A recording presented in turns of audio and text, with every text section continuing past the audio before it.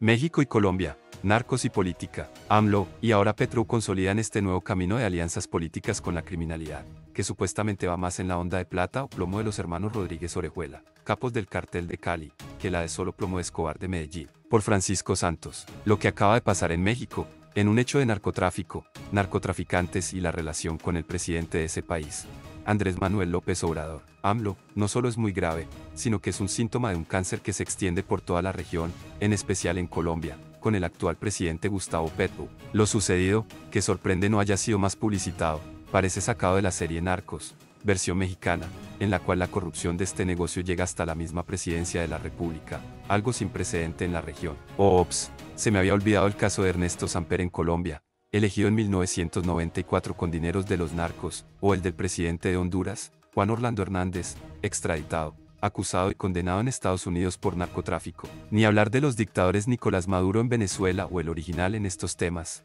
Manuel Antonio Noriega en Panamá. No quiero, al citar estos antecedentes, minimizar lo que pasó en México, que ya les cuento, sino al contrario, mostrar que este es un patrón histórico que ha ido creciendo en la región y que se ha desplazado de los narcos colombianos a los mexicanos, hoy, los grandes dueños de este negocio. Sin embargo, no hemos visto en la región un poder como el que tiene la mafia mexicana, que logró permear todo el sistema político de ese país, elegir gobernadores y alcaldes y, además, tener un presidente que ve con buenos ojos esa alianza de la política con el crimen organizado. Es más, AMLO, en sus seis años de gobierno, prefirió los abrazos y no los balazos, con los narcos, se opuso a la captura y extradición del hijo del Joaquín, el Chapo Guzmán, Ovidio Guzmán, a la extradición de otro narco importante, Rafael Caro Quintero, cofundador del cartel de Guadalajara, capturado en el 2022, y armó tal lío con Estados Unidos por la captura en Los Ángeles del general Salvador Cienfuegos, ministro de Defensa de México en el gobierno anterior, para juzgarlo por narcotráfico, que, en un acto de debilidad, la administración de Donald Trump lo devolvió a México, donde hoy está libre. Lo de las pasadas dos semanas con dos grandes operadores del narcotráfico en México es de película. Los americanos engañaron a otro hijo del Chapo Guzmán, Joaquín, junto a un socio y narco muy buscado fundador del cartel de Sinaloa, Ismael El Mayo Zambada, y se los llevaron a Estados Unidos, donde van a ser juzgados por narcotráfico. Todo quedaría exclusivamente en una violación a la soberanía aunque el embajador de Estados Unidos en México lo niega, si no fuera por un comunicado de Zambada antes de entrar a la corte en Brooklyn, en el cual afirma que fue emboscado en una reunión que convocó Joaquín Guzmán López, hijo de El Chapo Guzmán, para mediar en una disputa en curso entre Rubén Rocha Moya y Héctor Melesio Cuenojeda.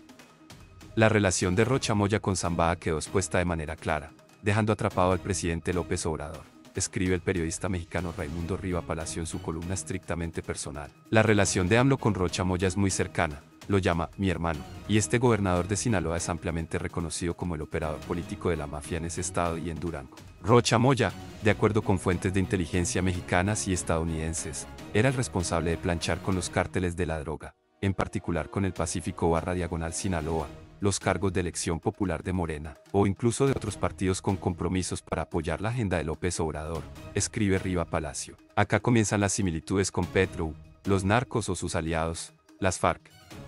Por un lado, estos últimos se han quejado de manera pública sobre el apoyo que le dieron a Petro para hacerlo elegir y cómo los ha traicionado. Por el otro, hay fuertes acusaciones sobre el apoyo de los narcos a la campaña de Petro y, sin bien no hay investigaciones por ahora al respecto, lo que sí es claro es que han tenido espacio libre para actuar, pues Petro acabó con la erradicación de coca, el petróleo es peor que la coca, dijo hace dos años en la ONU, ha frenado casi toda acción antinarcóticos y ha desestimulado la actuación militar y policial contra los narcos, que hoy controlan extensos territorios de cultivo y producción de coca a lo largo y ancho del país. No es para nada descabellado que veamos a los narcos apoyando la agenda política progresista en las presidenciales del 2026, como lo hicieron en la elección de AMLO en el 2018 y de Claudia Simbaum este año.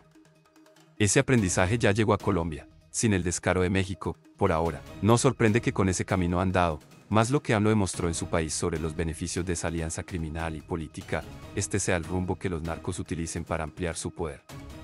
Es decir, el sueño de Pablo Escobar sería una realidad en Colombia, como hoy ya lo es en México. AMLO lo puso en las palabras exactas, abrazos y no balazos, es decir, alianza política y vía libre para el negocio.